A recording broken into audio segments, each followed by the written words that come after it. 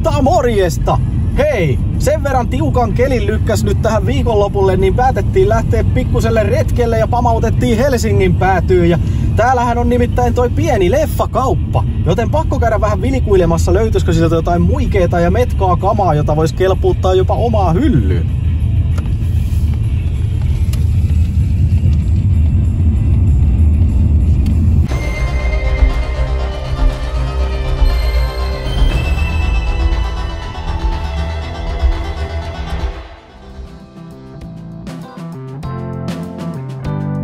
No niin, tältä aulastahan löytyy heti ihan mieletön määrä näköjään Blu-rayta ja Nordickia ja Suomi-julkaisua ja vaikka mitä. Sitten on 4K tarjolla.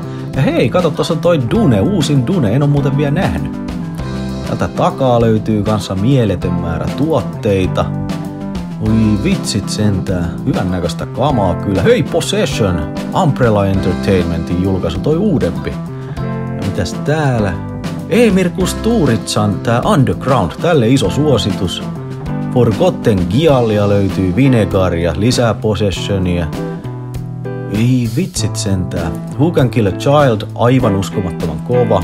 Ja mikäs täällä? Bloody Moon, Chess Franco. Absurd Baba Jaka, Cannibal Feroksia. Voi vitsit, nämä kaikki pitäis hommata. Täällä on vähän näköjään hammeria tarjolla. Dracula, Demons of the Mind ja Without Warning, tiukka Hei Skiffy Collection, toi voisi olla kanssa kovaa valuuttaa hyllyssä. Burps ja Phantom of the Mall ja hei noni, Screams of a Winter Night, Gold Redin tää slipari-versio vielä. Ehdottomasti suosittelen tätä. Ja totta kai, Carbon in the Mouth of Madness, pikkasen tiukka pätkä. Täältä vähän 88 Filmsia, The Creepsia, eli Full Moon Entertainmentia.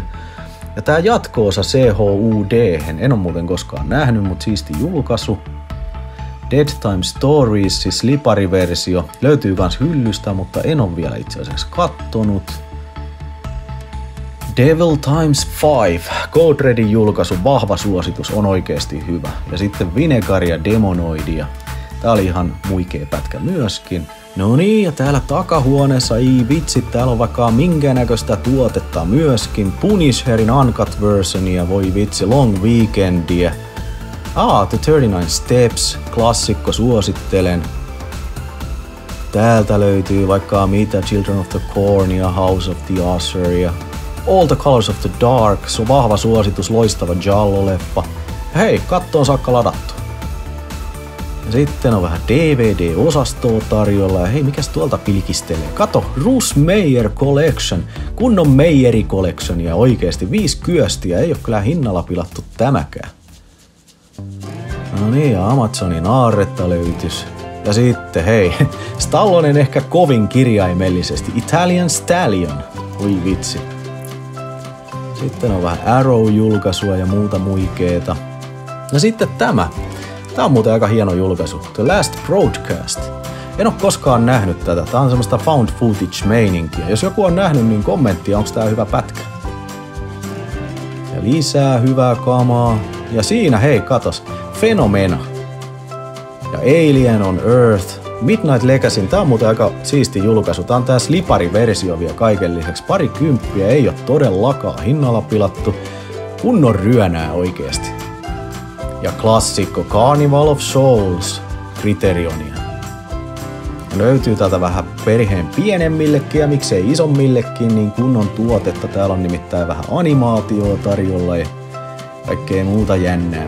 Sunnuntai vietettä. Sitten, mitäs täällä? Robocop ja Madman ja Escape from LA. Ja 4 The Sword and the Sorcerer. Albert Pioneer. Sitten lattian rajankin on ängetty todella todella tiukkaa kamaa. The Black Belly of the Tarantula. Voi huh huh. Voi vitsit mitä kamaa. No niin, nyt on käyty hei pienessä leffakaupassa täällä Helsingissä ja siellä oli ihan mieletön määrä kaikkea todella todella huikeeta tavaraa, jota olisi tehnyt mieli napata matkaan, mutta kuitenkin johonkin se raja pitää vetää, joten kaksi tuotetta lähti matkaan ja toinen on The Sword and Sorcerer Eli tämä 4K Ultra HD-versio tästä aivan mielettömän kovasta klassikosta sekä sitten La Lorona. Tämä on se alkuperäinen meksikolainen versio vuodelta 33, joten mielenkiintoista nähdä, että minkälainen pätkä tämä ihan oikeasti on. Kerron myöhemmin.